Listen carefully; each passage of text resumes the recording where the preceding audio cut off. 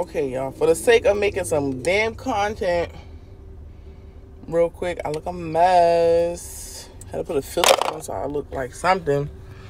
You know, Wawa has the refreshers, so I got a milkshake for free. I have to turn the air on low or something because I'm gonna die. So if you hear a little whoosh, whoosh, it's because the air is on. But anyway, yeah, I look a mess. I'm washing clothes, but just for the sake of making content.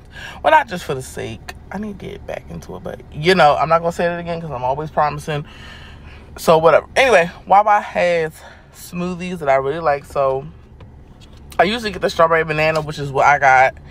And this a yogurt base. I tried it without yogurt and I don't like it as much. So this has a yogurt base. This has three ounces of yogurt two peeled bananas, um, a cup of ice, it has whipped cream on top, but you don't have to get whipped cream. And you can add protein in it um, into this.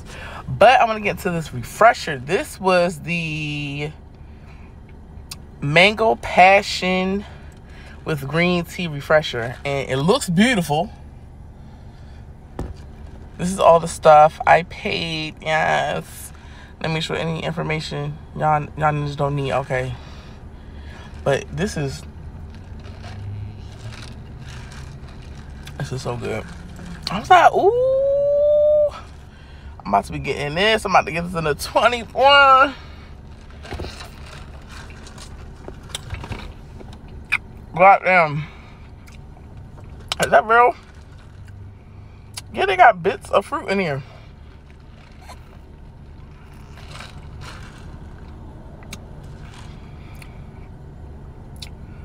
Feel but okay. It's good.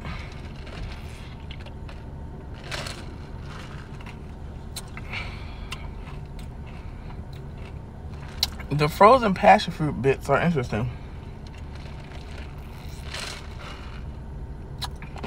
But not in a bad way. But yeah if you have a Wawa near you try out the mango passion fruit. They have the one without green tea but I usually like stuff that has green tea in it, so that's why I got the green tea. It's good. Or you try out their smoothies. They got mango, strawberry, mixed berry. Go on the app, download the app, and you can see all the flavors. So you can, you know, see if they have before you go. But again, I like the banana strawberry. That is the go-to. And that's about to be my breakfast while I run errands. But this is Danyel. It's like, this is Danyel.